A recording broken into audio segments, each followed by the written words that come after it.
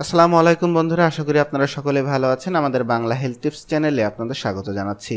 প্রিয় দর্শক মণ্ডলী, আজকে আপনাদেরকে এমন চার প্রকার ব্যক্তির কথা জানাব।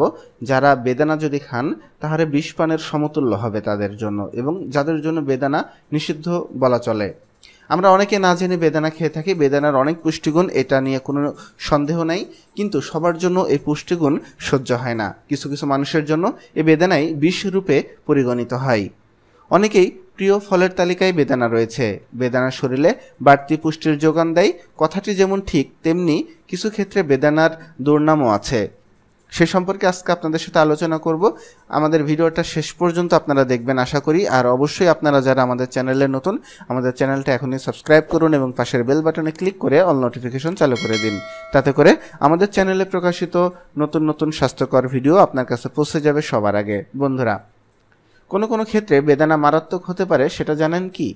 এমনকি আপনার জীবন পর্যন্ত কেড়ে নিতে পারে।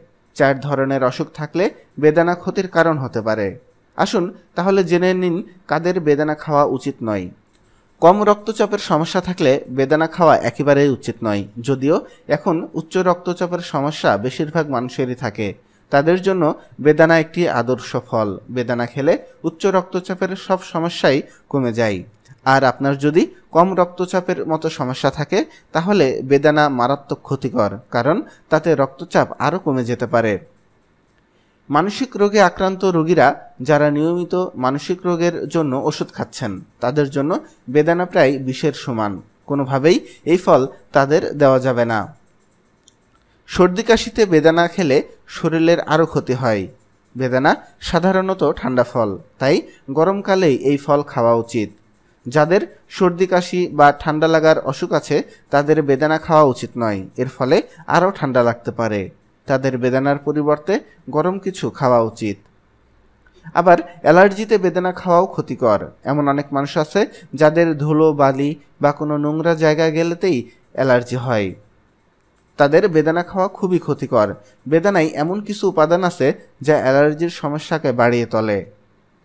প্রিয় দর্শক মণ্ডলী, আপনাদেরকে যে চার রকম অসুখের কথা বললাম, তার মধ্যে হচ্ছে আপনার নিম্ন রক্তচাপের সমস্যা, মানসিক যারা রুগী, তারা, তারপর সর্দি কাশি যদি হয়ে থাকে সে সকল ব্যক্তিরা এবং অ্যালার্জি যাদের বেশি সমস্যা হয় সে সকল ব্যক্তিরা। এই চার প্রকার লোক আপনারা কখনোই বেদনা খাবেন না। বেদানার অনেক পুষ্টিগুণ রয়েছে। আপনারা যদি এই যারা এই চার ক্যাটাগরির লোকের বাইরে আপনারা যদি হয়ে থাকেন, তাহলে আমাদের চ্যানেলে থেকে আপনারা আরও অনেক ভিডিও দেখতে পাবেন, যেখানে বেদানার অসংখ্য অজানা গুণাগুণ নিয়ে আমি আলোচনা করেছি। সেই ভিডিওগুলো আছে, আশা করি সেই ভিডিওটা দেখে নেবেন। আর এই চার প্রকার ব্যক্তিরা কোনো কারণেই, কোনোভাবেই আপনারা বেদানাটা খাবেন না। বেদানাটা পরিহার করাই আপনাদের স্বাস্থ্যের জন্য ভালো হবে। প্রিয় দর্শক মন্ডলী, আশা করি আজকের ভিডিওটা ভালো লেগেছে। অবশ্যই ভিডিওটা ভালো লাগলে আপনারা একটি লাইক দিবেন, আপনার মতামতটা কমেন্টস করে জানাবেন। আর হ্যাঁ বন্ধুরা, ভিডিওটি অবশ্যই আপনার ফেসবুক টুইটার এবং ইনস্টাগ্রামে শেয়ার করতে ভুলবেন না। কারণ আপনার একটি শেয়ার আপনার পরিচিত মানুষকেও এই ক্ষতিকর দিক থেকে রক্ষা করতে পারে।